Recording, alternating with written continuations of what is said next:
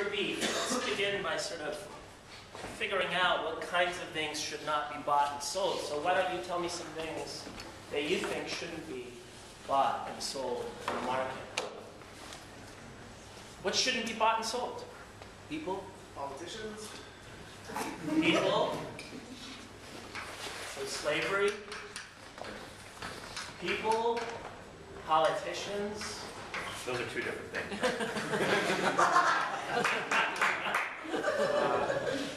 People and politicians, yes, those are two Maybe different weapons things. of mass destruction. I don't know. If we want, do you want your neighbor to own a nuclear device or a bacteriological uh, disease that could kill everyone?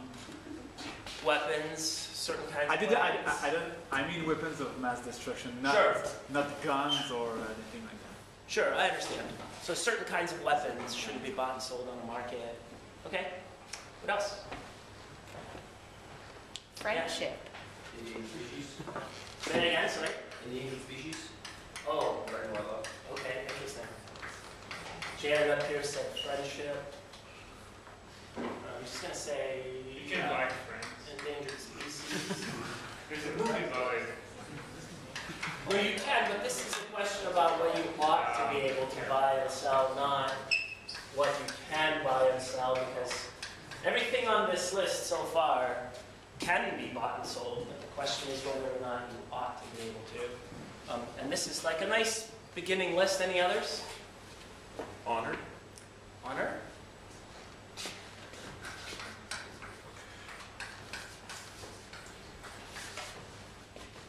I work in the US, so I make a point of properly spelling everything. Anything else? Yeah, that's a pretty good list. I don't know how many of those we'll address today, but we can definitely cover some of them in the question and answer period. There are broadly two different kinds of objections to markets. One set of objections are in principle objections. So, for example, we might worry about commodification in particular. And here what we're wondering about is the meaning of markets and the meaning of money. And sometimes when we buy and sell stuff, we communicate something through the purchase of those things. And some people might think that it's wrong to commodify certain things because it communicates the wrong kind of attitude. Those are in principle objections to markets. The second set of broad objections to markets are in practice objections to markets. Objections like, in a way, the corruption objection, or the wrongful exploitation objection, or the misallocation objection. Uh, wrongful exploitation, so we're worried that poor people, for example, will be taken advantage of. We might worry about sweatshops, something like that. Misallocation includes worries about inequality. So we might think that we don't want markets in everything, or in some set of things, precisely because if we allow a market in those things, it'll lead to inequality that we don't like, or it'll lead to the exploitation of certain groups of people, uh, or it might corrupt the meaning of a particular kind of practice. In my talk today, I'm going to focus almost exclusively on the in principle objections to markets, and almost not at all on the in practice objections to markets. We have an economist in the room, and I will just turn to him, I guess, when uh, people object in practice. So here's an overview of what I'll talk about. We'll talk about the inherently wrong, and my question to you is, what's the market got to do, got to do with it? The second one is the mere commodity objection. The third one is the wrong signal objection. The fourth one is the wrong currency objection to markets. And then I'll make a, a final point about market design. Different ways of designing markets that might alleviate some of your concerns or eliminate them entirely. Let's see. Here's a nice photograph. It's an actual picture of an actual auction for slaves. You might think, people are the sorts of things that should not be bought and sold in the market. This is Ezio. He's an assassin. He's not a hired assassin, but it is the coolest picture of an assassin that I could find. so it'll do. Um, Ezio, I'm told, kills for honor. He's part of a gang, and they fight against another gang, or sets of gangs, and Ezio kills people in the other gang. I don't know, any of you play Assassin's Creed. Did I get that roughly right? Ballpark, yeah. Ball- okay, as long as it's a big enough ballpark. Oh, okay, so you might think that assassination is the kind of thing that shouldn't be bought and sold on a market. Well, look, the thesis of the book that I'm writing and the thesis that I'm presenting to you here is as follows. If it's okay to do something for free, then it's okay to do it for money. The claim is not that, like, magically the market converts things such that you can buy and sell things that you couldn't give away or have for free. What I'm interested in is whether the market features as part of the explanation for the wrongness of some kind of uh, behavior or some kind of activity. Does that make sense? Right? If not, then in what way is that an interesting limit on markets? So take slavery and take assassination. Well, those are things that you could not do for free. So it's not okay to buy and sell them on a market, precisely because it's not okay to do that kind of stuff for free. Yes. When we talk about the wrongness of slavery, it's not that money's exchange that makes slavery wrong, is it? Yes. Well, okay, maybe. but in lots of stories about why slavery is wrong, stories about autonomy feature prominently. So it would be wrong to sort of volunteer yourself. In my view, it would be wrong to volunteer yourself as a slave for another. It would be wrong to sort of give as a gift, as kings and queens sometimes did, right? It would be wrong to give a gift of a group of people as slaves, right? And so those sorts of things are inherently wrong. And markets don't add or detract anything from the moral story. So hired assassinations are out, but that's because those things are inherently wrong. Let me give you an analogy, a metaphor to sort of make more sense of that claim. So imagine we were trying to write a book about the moral limits of hats. I could spin out a lot of things very easily about the moral limits of wearing hats. So, for example, if it's immoral to lie, then it's immoral to lie and wear a hat. right? If it's immoral to cheat, then it's immoral to cheat and wear a hat. If it's immoral to steal, then it's immoral to steal and wear a hat. But what does the hat add or subtract from the story about what's wrong with lying, cheating, and stealing? The answer is nothing. So I'm only interested in cases where we might think that the market actually adds some immorality to something that is otherwise okay, or subtracts immorality from something otherwise might think is wrong. So this kind of thing is trivial, right? Hats have nothing to do with the wrongness of lying, cheating, and stealing, and the same kind of claim is the one that I want to defend when it comes to markets. Here's the bottom line. If it's inherently wrong, then markets add nothing to our understanding of the wrongness of those sorts of activities. So buying and selling people is out because it's inherently wrong. It would be wrong to buy and sell people, to give them away, excuse me, for free. Um, yeah. Same with assassinations. Yeah, Uh, what about ownership of, of these things? I mean, assuming for a minute that I'm, I'm an owner of myself, and if I voluntarily decide to enslave myself or, or give myself over as property to some other group, Um, so we're going to have a disagreement about a lot of things here. So, for example, I think self-ownership is a mistake. I think it's a category error. Um, and I don't think it's okay for you to give yourself up to slavery. Um, I think that's wrong too. But that's in a way like a separate issue, and we can talk about that some more near the end. Let's talk about the mere commodity and the wrong signal objections. Here is the objection written out in logical form. Some X is not a mere commodity. To buy or sell X either necessarily means you regard X as a commodity, or it communicates a commodification attitude to other people. It is wrong to regard X as a commodity. It is wrong to communicate a commodification attitude towards X. Therefore, it is wrong to buy or sell those things. Let me ask you something. Oh, no, let me, let me quote Sandel instead.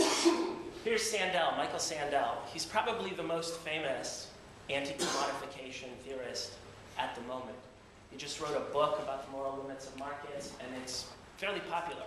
You can see him in TED Talks, you can see him all over the place. If you Google Michael Sandel, you can get a lot of information about this topic. He says that markets don't only allocate goods, they also express certain attitudes toward the goods being exchanged. Meanwhile, Elizabeth Anderson says something similar. She says, a practice treats something as a commodity if its production, distribution, or enjoyment is governed by one or more norms distinctive to the market. Market norms structure relations among the people who produce, distribute, and enjoy the things in question. Meanwhile, here's a kind of definition of what the commodification attitude amounts to. So this is what is constitutive of considering something a commodity. First, we deny the subjectivity of the commodity. So the commodified thing either lacks consciousness or is something whose experience and feelings need not be taken into account. So that's part of the element of the commodification attitude. Secondly, instrumentality, the commodified thing has only or mainly instrumental value. So when we think of something as a commodity, we, we deny its subjectivity, first of all, and secondly, we think of it as of merely instrumental value. And finally, fungibility. The commodified thing is replaceable with money or other objects. In fact, possessing this fungible object is the very same thing as possessing money. So these are the constitutive features of the commodification attitude. That's Martha Nussbaum, by the way, and this over here is Margaret Jane Radin. They've also written on this topic extensively. How many of you have one of these? How many of you have one of these? And how many of you have one of these? So how many of you have either a cat or a dog? And how many of you have this attitude? Towards your pets? How many of you have this attitude? Anybody own a, a cat or dog but doesn't have this attitude?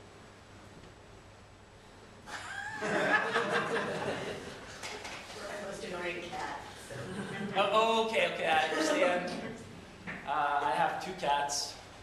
One of them is family. Yeah, all right, you get it. The other one No, that's is being tamed. The other one I love just as much. in a very different way. How did you get your cats or dogs? How did you get them? You bought them? How many of you bought them? And how many of you got them in some other way? How did you get them? I adopted them from the SPCA. Okay, yourself? Yep, Alright. I had, uh, adopted. Okay, Earl? I got Adopted? married. That explains the first part. Yep. Uh, they were born, Will was born, so dogs I had. Let me ask you something. Do you think that the people who bought their cats or dogs love them any less than the people who got them through adoptions? Do you think that the attitude that people take towards their cats or dogs has anything at all to do with the fact that they bought them on market? well, yeah, Mm-hmm. in a sense. I mean, there are people who want designer pets. And so they will go out and pay thousands and thousands of dollars for them. And they're not, they're not buying them for love, they're buying them for status symbol. I don't think anyone adopts a dog, cat or dog because of the status symbol. I think that's true, right? But is there a necessary connection between buying cats or dogs and having the commodification attitude towards cats or dogs? I don't, Because that's the only thing that I'm contesting here. I don't think you can have that attitude if you adopted it, unless you're odd. Uh, I, I think that you have to have paid money in order to have that attitude. You may or may not have it if you paid money. Yeah, but will it necessarily follow from the fact that you bought a cat or dog that you will have a commodification attitude towards your cat or dog. Isn't it true that most people here in Canada and in the US regard their pets as members of their family, regardless of whether they bought them on a market or received them from an adoption or you know, had one of their other cats or dogs give birth to, to puppies or kittens? Isn't it true that there's no necessary connection between the two? Isn't it true that whether or not you bought your cat or dog has very little to do with whether or not you have a commodification attitude towards those pets? Yeah? But isn't it the fact that, isn't it a sense of the fact that you can find cats and dogs to buy, isn't it a statement of the commodification thing? Like if people wouldn't buy them, they wouldn't be sold in pet stores. Isn't that kind of That's liminal? true, but do the people who buy them, are they thinking of those cats and dogs as future family members? Or are they thinking of them merely as commodities? Well, the people who buy them know, but the people around who see them, doesn't it kind of propagate the kind of commodification of pets? Oh, that's good. And we'll get to the signal that you send when you buy and sell a cat or dog in just a second. That's a good se- separate kind of issue. Here's Alfred C. Barnes. Right? He's a famous art collector. He was a famous art collector. He was very interested in um, Monets and Manets and that kind of art before anybody cared about that kind of art at all. And he made it part of his life's mission to go out in the world, in particular in France, and to buy as much of that art as possible. Uh, he went out and he bought all of that art precisely because nobody else cared about it. And he thought that it fell to him to save this significant art. Now, this is the Barnes collection in Lower Merion in Pennsylvania. Um, that art no longer exists in the Barnes house. Uh, the town council in Lower Merion voted to move it to the big city. And now they've constructed, reconstructed Barnes' home in downtown Philadelphia, I think it is. Even though Alfred. Barnes was a weird kind of guy, he was obsessed with um, a hatred for his local town council. And so he said, in his will, he said, you may never move this art. This art may never go anywhere except for right in here. And the first thing they did after his death is they started the process of trying to move his art. Now, Alfred Barnes bought all this art not because he regarded it as of merely instrumental value. In fact, he thought that this work of art was beyond any kind of financial consideration. It had more than merely economic value. And yet, he had that attitude despite the fact that he participated in the market for art. And he participated in the market for art very aggressively. He bought a lot of art. Um, some people tell, uh, some people say that this collection of art is the single most expensive collection of art in the world. That it is more valuable than the Louvre in Paris. I that correctly. And notice here, McGill and other schools have a human resources department in a way that's kind of interestingly named. It's a human resources department. The professors that teach you are hired. They're paid to teach you. And yet, what kind of attitude do you have towards your professors? And what kind of attitude do you think us professors have towards you as students? Do you think the fact that we're paid somehow makes it the case that we have the wrong attitude towards students? Is the fact that you pay tuition, does that alter in any way the attitude you have towards your professors? I think the answer is no, but uh, there are, are always exceptions. There are actually two senses of commodity that sometimes get run together. One sense of commodity is anything that is bought and sold on a market. Strictly speaking, anything that is bought and sold on a market is a commodity. But there's a difference between something being a commodity and having a commodification attitude towards that thing. To have the commodification attitude is to have an attitude where we deny the subjectivity, attach merely or only instrumental value to that object, good, thing, um, or cat or dog, and regard that thing as fungible. But the two can come apart. So even though, strictly speaking, all the art that Alfred Barnes bought was a commodity, Alfred Barnes did not have the commodification attitude towards those objects. And even though, strictly speaking, every cat and dog that you, that you buy in a pet store is a commodity, it doesn't automatically follow, it doesn't necessarily follow that you will have a commodification attitude towards that cat and that dog. But, just kind of just make a point. Yeah. Aren't your expectations radically different when you pay for something? For example, if I was to go to university and pay for it, my prof didn't know anything, I'd be more upset than if I was there for free, I wasn't paying for it. Same thing with the dog. If I got it, if I bought a dog and I realized, you know, a week later that he was gonna die of some disease, I'd probably want to take him back or hold the person who sold to me accountable, whereas if it was for free, I'd have a tendency to say, well, I didn't pay for it, so whatever. Yeah, you're right. I mean, our expectations will change depending on whether or not we buy um, the thing. But it's not a necessary connection. We might not of necessity have that kind of attitude. Here, I'm responding to those people who claim that there's a necessary connection between the two. Now, if the connection is contingent, then it might be based on some other features. And we can spend some more time talking about it, because I think there's something that I'll say a little bit later on that touches on the point that you're making here. So the bottom line here for this part is the following. There is no necessary connection between buying and selling eggs and any mode of valuation, including the commodification attitude. Buying a cat doesn't mean of necessity that you have a commodification attitude towards a cat. Buying art doesn't mean that either with respect to art. Human resources departments at places like McGill and other places, they don't signal, well, they might signal, but it doesn't mean from the fact that there's a human resources department that administration has a commodification attitude towards the professors that work here. And now we can ask about the signal that it sends. Right? So even though it's true that the people who participate in the market may not have a commodification attitude towards the things that they are buying or selling, it might be true that we communicate that attitude to other people.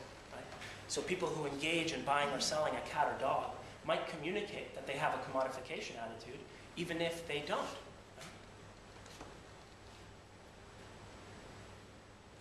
Here's the wrong signal objection. Buying and selling certain objects tends to express certain morally deplorable attitudes. This expression occurs independently of any attitudes that the person may happen to have. If so, then commodifying certain objects is wrong. Therefore, commodifying certain objects is wrong.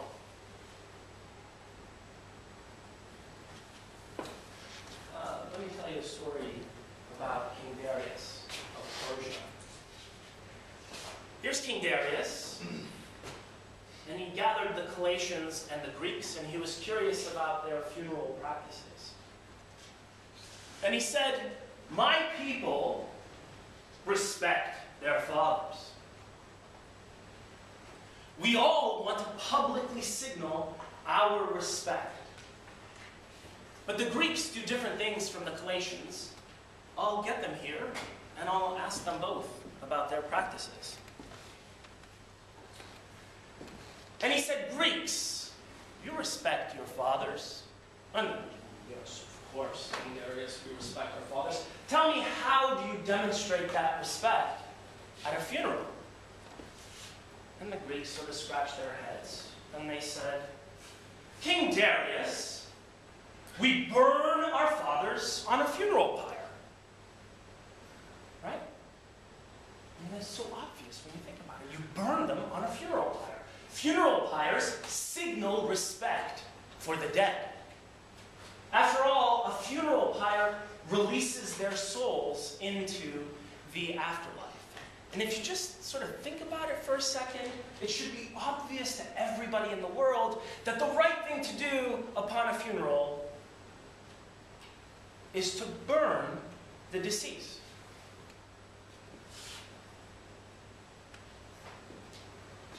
And King Darius pressed and he said, Would you ever eat your fathers? And the Greeks were outraged. King Darius, that idea is disgusting to us. To eat them would be to disrespect them. It would be to treat them as mere food. It would corrupt the meaning of funerals. King Darius was satisfied, and he said, Callatians, you respect your fathers. And the Callatians, of course, nodded and said, Yes, of course. King Darius, we respect our fathers. Tell me, how do you demonstrate that respect at a funeral? And the Callatians said, Well, duh, King Darius, we eat the hearts of our fathers. Eating the heart signals respect for the dead. After all, to eat the heart of your father is to keep your father with you for all times. Like, what happens if you just leave them in the ground? They're not with you. But if you eat their heart, then your father will be with you for all time. How respectful is that? It's the pinnacle of respect. And King Darius pressed and he said, Would you ever burn your fathers on a funeral pyre? The Callatians were outraged. King Darius, that idea is repugnant to us. To burn them would be to disrespect them. It would be to treat them like mere trash, something else we burn. We burn garbage. It would corrupt the meaning of funerals.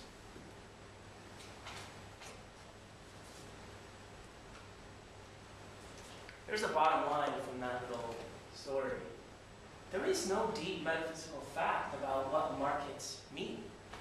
Just as there is no deep metaphysical fact about what those funeral practices mean. It is a contingent fact, a mere convention. Now, what about money?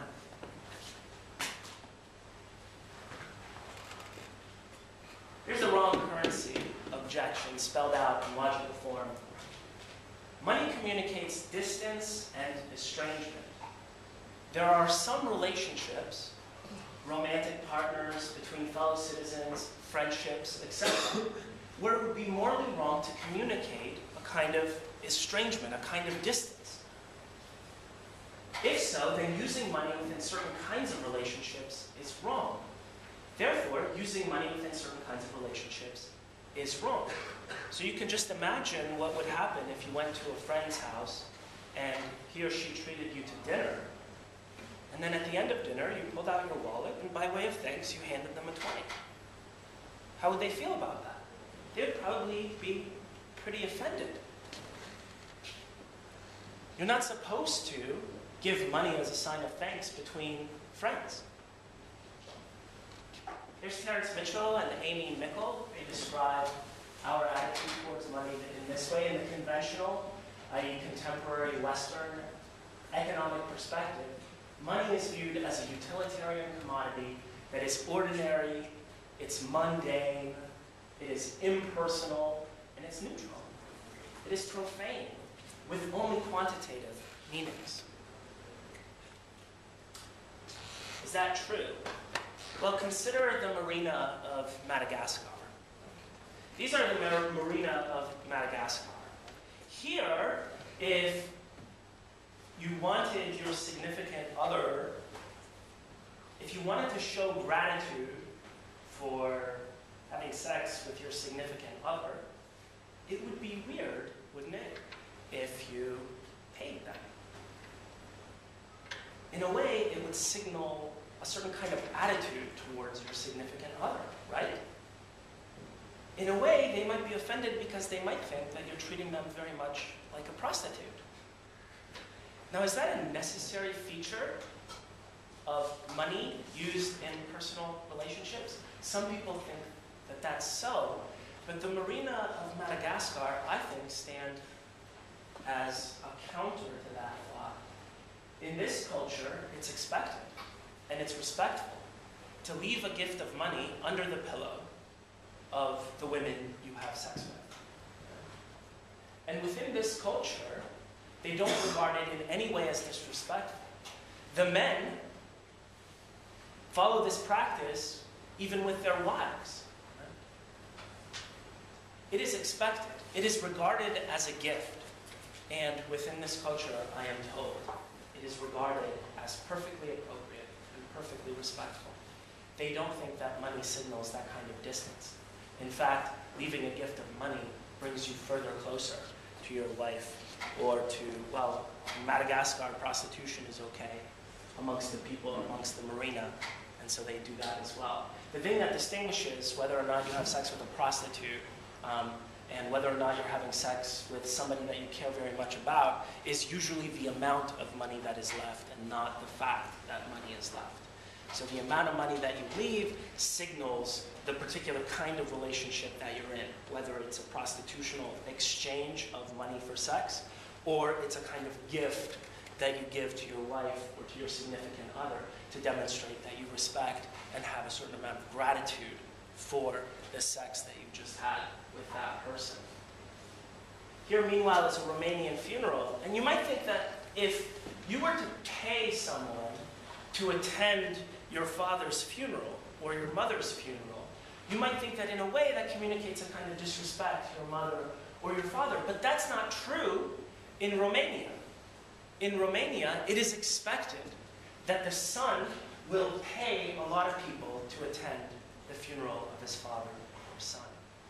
In fact, just recently I discovered that in China, there are professional mourners. There's like a category of job, a career that you can, you can have called a professional mourner. Yeah, Sarah. Oliver Twist is a professional mourner uh, at at the beginning of um, of Dickens' novel. Is that right? Yes, he's a, Oh, he's an official mute who who accompanies funeral processions and looks sad. That's amazing. And Oliver Twist is paid for that? Uh, well, the people who run the the funeral company, yeah. Oh, okay. So okay, yeah, yeah. you should have a look at that. I did- yeah, Oliver Twist. All right, I'll use Oliver Twist. Yeah. In Romania, it's the same thing. Pay just people to show up. Mm-hmm. Your mourners, which will like show respect and all that, because the family can't afford to stay and cry by Yep. their loved one, because they need to organize things and take care of things. So you just pay people to mourn. Oh, okay. So Okay. So there are people who are paid to mourn, right? Now here in our culture, like, if I was to do something like that, I think most people would, would kind of furrow their brows and be upset about my paying someone to attend my dad's or my mom's funeral. But in Romania, that kind of thing is okay. There are mourners who are paid. And in China, like I was beginning to say, there are professional mourners. And there's one woman in particular who's really excellent at it. And she, and the stories are pretty, they're pretty elaborate. She will like fall to the floor and just crawl on the floor towards the casket of somebody she's never met. She doesn't know this person. And she will scream to the heavens, she will say, Why? Why have you been taken from us? It is too soon. And she collapses around the casket, and the family of the deceased can cry. And the people really admire her abilities. She really gets the crowd to cry a lot. And they say, you know, somebody like that is really important. Because for the rest of us who are standing there at the funeral, sometimes it's very difficult to start to cry, right? You're just sort of standing there you really need the release of tears. And to have a professional mourner really exaggerate the mourning gives everyone permission to just start to cry. At least that's what I'm told. Here's a little experiment that you can do with anything, right? With almost anything that we buy and sell. Do a little twin earth experiment to discover whether what you're worried about is a certain kind of etiquette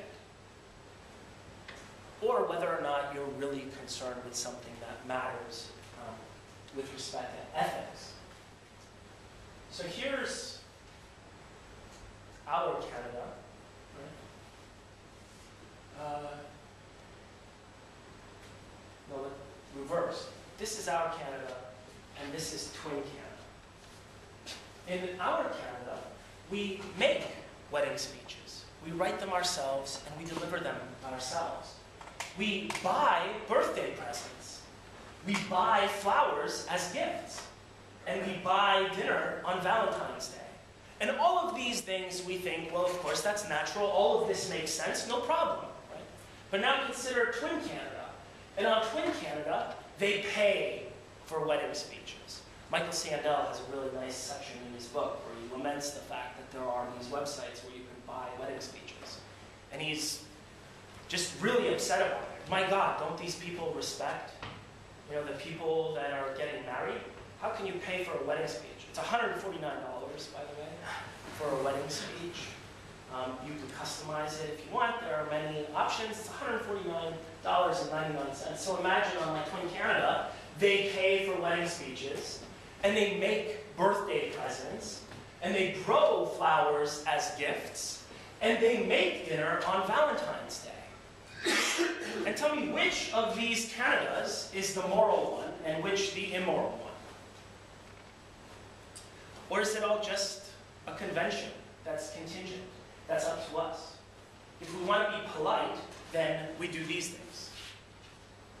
If we want to be polite and nice, we do these things here. On Twin Canada, if you want to be polite and nice, you do those things.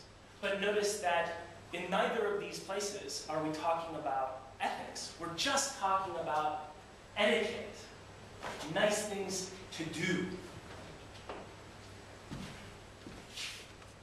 It's not unethical to pay for a wedding speech. It's just uncouth. It's not done here. It would violate etiquette surrounding wedding speeches. Now you can imagine Sandel, you know, here, here on earth, he says, some people buy wedding speeches. Can you believe it? Don't they see how this is disrespectful? But you can imagine Twin Sandel on Twin North America, I'll say, because he's in the US. Some people write their own wedding speeches. Can you believe it? Don't they see how this is disrespectful? I don't think either one of these would be incoherent or weird. And that just signals that we're talking about etiquette and not ethics. So kind of, you know, the Dear Abby columns. Like if you're if you're in England, don't do this, right? Right? Anybody from England? Australia. Where's my friend from Australia? Yeah, is this the is that what what is the is this no it's this. It's this? What is it? It's this? Yeah. Okay, yeah. When in Australia, don't do this, right? When in England, don't do this, right? Here, don't do this. But is there some fact about like the difference between this, this, or this that makes this immoral, but this is like, could it be otherwise? Of course it could have been otherwise. It's just a contingent feature of our culture, and we can change it. Look, uh, I'll run an experiment right here. Let's agree between all of us that when I do this, I mean I respect you as a person. Can we agree to that? Can we agree to that private convention here in this room? Yes? Are we agreed? Adam. Peter. Matt. Did we do something immoral? Of course not. It's just a social convention that attaches a bad meaning to this gesture. And so similarly, there's a social convention about paying for wedding speeches versus writing them yourselves. Those conventions can change, and they are contingent, and we're just talking about etiquette and not ethics. And in fact, it turns out that money has many different meanings. I gave you a quote from Terence and Amy Mickel, Terence Mitchell and Amy Mickel at the beginning. They talked about the meaning of money as being this kind of impersonal, distant, and fungible thing with only profane meanings. But it turns out that sociologists who study empirically the history of the use of money have discovered that money has many different meanings in different contexts. Here's Vivian Zelizer. She's no slouch. She's the chair of the Department of Sociology at Princeton University. And she tells us that uh, money has at least three different kinds of meanings. It can mean Uh, it can be a form of compensation, so a kind of direct exchange. It can have the meaning of being a kind of entitlement, so the right to a particular share. And as a gift, it's possible for money to function as a gift, one person's bestowal on another. Money as compensation implies an equal exchange of values and a certain kind of distance, uh, a certain kind of contingency, maybe some kind of bargaining and accountability among the parties. So your question earlier, right, about what we expect when we pay for something. Well, it depends on whether or not we regard the purchase of a cat as a kind of, right, uh, well, compensation, it would be entitlement. Money as an entitlement implies strong claims to power and autonomy by the recipient. So if you interpret your exchange for the cat as an exchange that means a certain kind of entitlement that you have, then you're going to have that attitude. But you can regard it differently, right? And in a way, it's optional and up to you. You could, if you wanted to, go to a pet store and conceive of the money as a kind of gift that you give in exchange for the gift of a pet, if you wanted to. Suppose your attitude towards cats and dogs was that they're super special creatures, and that someone giving you a cat or a dog in exchange for money is actually gifting you a cat or dog in some special way. You could create the scenario yourself. you wanted. Money as a gift implies intimacy and or inequality, plus a certain kind of arbitrariness. And at different times, we have regarded different things as uh, uh, money has meant different things over time. So in the 1920s, for example, parents used to give their children money as a gift, and it was considered special. Nowadays, we give Hallmark cards to each other.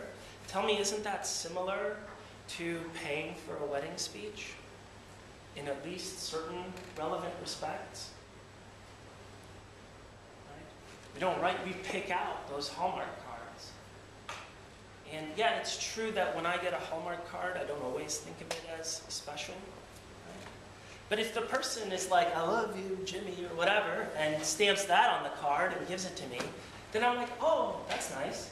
And if the poem written on the Hallmark card somehow relates to me or makes sense to me in some way, then I'm like, that's additionally special. Thank you for buying me that Hallmark card. And if I were given a gift of money, I'd be like, wow, that's great. Perfect. Now, Michael Sandel tells this story about an Oxford professor of his who, at the end of one semester, one of his students walked up to him and said, you know, great job, professor, here's a 20. Here's a tip. You know, he like tried to tip the Oxford professor. This is, this is a story recounted by Michael Sandel. And the Oxford professor was outraged, like completely outraged. And he shares this story with Michael Sandel, and Michael Sandel and the Oxford professor, both of them nod to each other like, yes, of course, this is just such an outrage. It's morally bad. It clearly means that the student has the wrong attitude towards education. Really? Really? Is that true?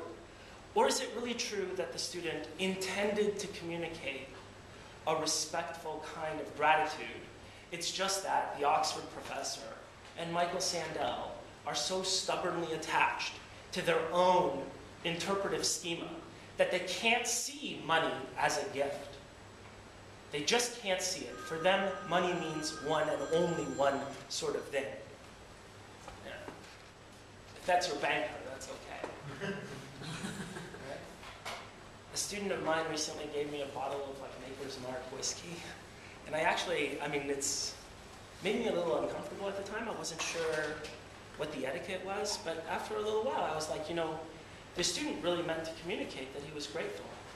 And I should accept the gift as communicating that meaning. I shouldn't infer that the student thinks I'm a drunk. or that he thinks that, that all the education that I gave him is equivalent to this alcohol. what does he think of education? That it's as good as whiskey? Come on. Martha Nussbaum says something very similar too. Uh, she tells us about the other sorts of things that we accept money for. Women accept money for all sorts of quote unquote bodily services. If you're worried about prostitution, for example, women accept money for all sorts of bodily services. Factory workers, domestic servants, nightclub singers, masseuses, and professors of philosophy. That's me. who take money for thinking and writing about what they think. right? I, I take money and I have a salary. The Oxford professor doesn't volunteer his time at Oxford. He gets a salary. And he can try to fool himself, but that salary comes from tuition. Students are paying him to do what he does. It's just that we have this elaborate ritual. It's so indirect. You pay tuition. What proportion of your tuition goes towards the salary of the particular professors that teach you? Do you know? Who knows? Some portion of your tuition goes towards like upkeep of the buildings and the facilities. Some portion of it goes towards apparently not snow removal, but at some colleges they use it for snow removal. Some portion goes towards the professor. And really, if we wanted to, we could have a system where, like, as the students walk in, they hand the professor a check. It's like, this is your portion of the tuition. This is this will cover your salary. We don't like that. And one thing about professionals in general is that they distance themselves from the payment. When I go to the doctor, I don't pay the doctor. I don't say, thanks, Jim, here's $200. Jim says, okay, Peter, that's great. Now go talk to my secretary. And I walk over there, and the secretary is like, that'll be $200. I'm like, that was an inefficient exchange. Like, why didn't you, why didn't the doctor just tell me how much it was? And I could have just handed him the money right there. But philosophers and others take money for all sorts of bodily work. And the, the professor of philosophy takes money for thinking and writing about what she thinks, about morality, about emotion, all parts of the human being's intimate search for understanding of the world and self-understanding. We take money for those things, but we don't worry about it too much. There's no reason to think that a prostitute's acceptance of money for her services necessarily involves a baneful conversion of an intimate act into a commodity.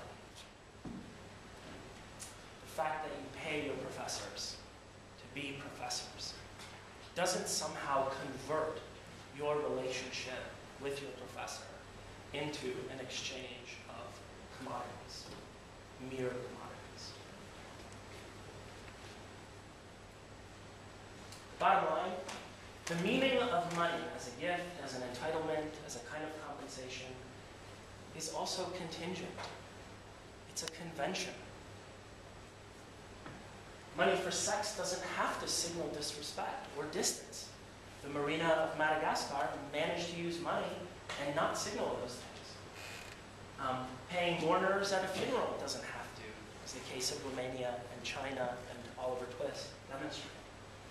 A speech doesn't have to communicate those things either, as the case of Twin America demonstrates. It's not immoral. It is at best bad manners. It's a taboo. Let me make a final point about market design. So now look, um, many studies appear to show that our that extrinsic rewards, like money, for example, can crowd out our intrinsic motivation. The most famous case started with Titmuss's book in 1970 called The Gift Relationship, where he demonstrated or he um, suggested that if people were paid for donating blood, there would be less blood donation. Um, your intrinsic motivation to donate blood would be crowded out by the money. So paying for blood, it turns out that women do it less often. Men don't. And you pay them for blood, they'll donate blood just as much. But it turns out for some reason, I don't know why, that women do it much less if you pay them for it. Um, if you pay students to study or to work hard or whatever, um, it turns out that a lot of students will put in less effort, which is really kind of unusual. If you pay, you know, Michael Sandel tells us that there are kids who get paid for reading, and he worries that it might replace the love of reading with the love of money. I put a question mark there because he doesn't look at any empirical evidence to buttress his points, but you could easily study this kind of thing with empirical evidence. Maybe being late to pick up your kids, so an Israeli daycare center instituted a fine for being late uh, for picking up the kids, and guess what happened? People showed up even later, and more often they were late. Weird. Out with cognitively taxing tasks, sometimes if we pay them a certain amount by way of a bonus, they will actually perform a lot worse than, than people who are paid a much smaller reward. So what do you conclude? Are there some things that money shouldn't buy? Well, no, right? Design compensation schemes differently. Change the design of the compensation scheme. Maybe, maybe prostitution communicates the wrong kind of attitude.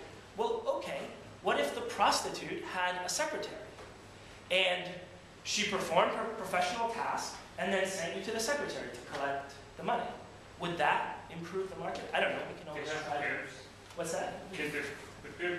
Yeah, but a pimp, I, I really like to design pimping out the market for sex. I think that's probably a problem. So it turns out, look, it turns out that the effect of the limited donation of blood entirely disappears if you give women the option of donating the money that they would have received to charity. That's a form of payment for blood, except the woman doesn't receive the payment. She gets to volunteer that money to a charity. Similarly with grades, the effect of crowding out entirely disappears if the money signals a kind of competence. So if you get paid for competence, then you will work harder. But if you are paid just to work hard, then you will work less. How about reading? Well, okay, let's change the design and pay with candy rather than money. Will that substitute a love of candy for a love of reading, Lear? Right?